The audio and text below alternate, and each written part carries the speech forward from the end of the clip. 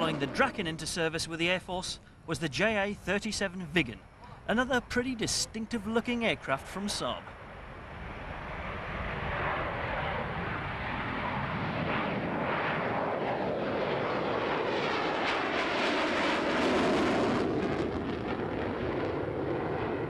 The Viggen is an attack and strike fighter that entered service in 1967.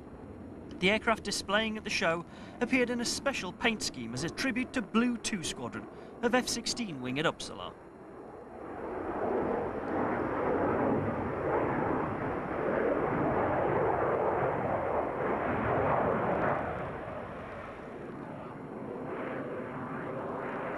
Perhaps one of the most distinctive features of the Viggen are its huge foreplanes or canards. So big, in fact, that the Viggen has been called the world's only supersonic biplane. These canards provide massive extra lift, which means that the Viggen has a very good short takeoff or landing capability.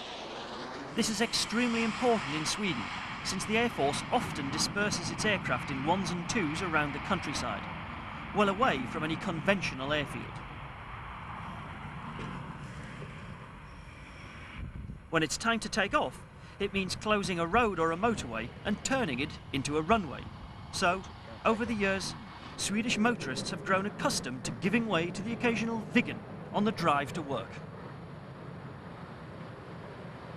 The Viggens displayed Uppsala demonstrated its short field ability to perfection.